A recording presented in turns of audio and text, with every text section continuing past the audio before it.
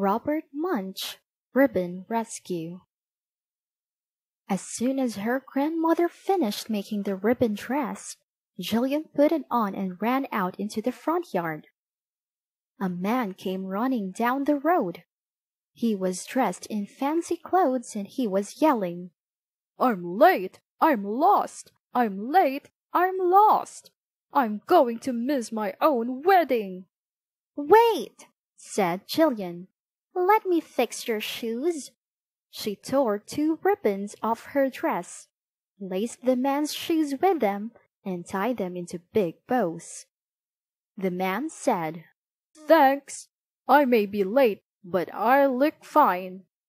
Well, said Jillian, why don't you take my brother Louis' skateboard?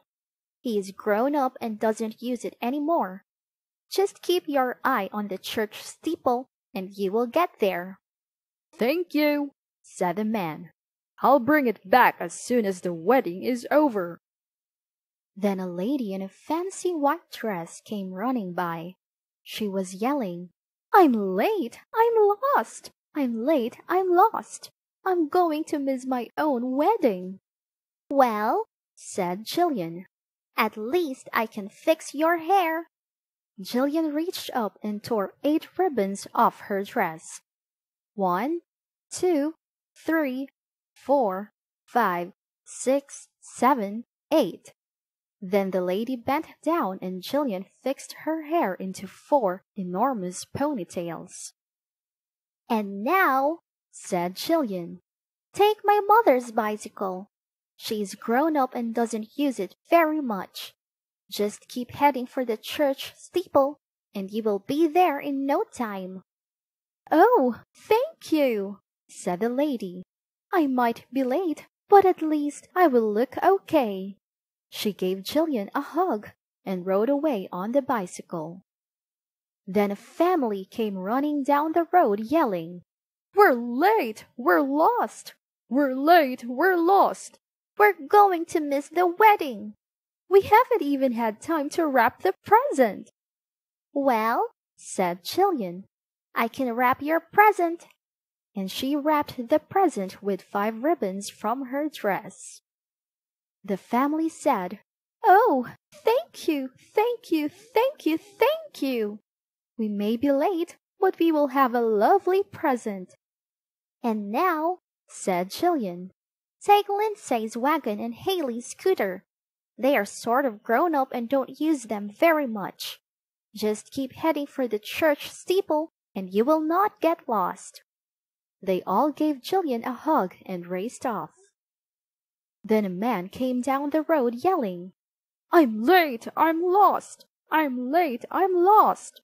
I'm going to miss the wedding! Suddenly he stopped and said, Oh no! It's lost! What's lost? Said Jillian. The ring! The wedding ring! said the man. I've lost the ring. I'll help you find it, said Jillian. She crawled around and got quite dirty, but after a while she found the ring in a mud puddle. Look, said Jillian. You might lose it again. Let me help you. She tied the ring to the man's finger with a ribbon. And now said Jillian. Take Jeremy's skates. He's grown up and doesn't use them very much.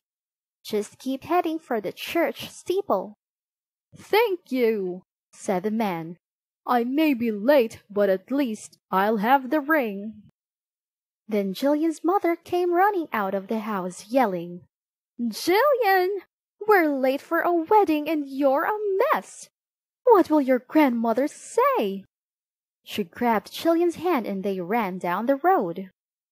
But when they got to the church, the man at the door said to Jillian, What a mess! You can't come in here dressed like that. But, but, said her mother. That's okay, said Jillian. I will sit on the stairs and wait for you. Then the bride and groom walked around the side of the church and saw Jillian sitting on the stairs. Oh, said the groom. Don't my shoes look great?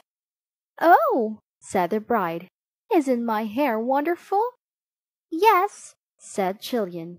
Your shoes are great and your hair is wonderful, and I hope you have a wonderful wedding. Aren't you coming in? said the groom. No, said Jillian. I tore off all my ribbons to fix hair, lace shoes, wrap a present, and tie a ring. Now my dress is a mess and I can't come in.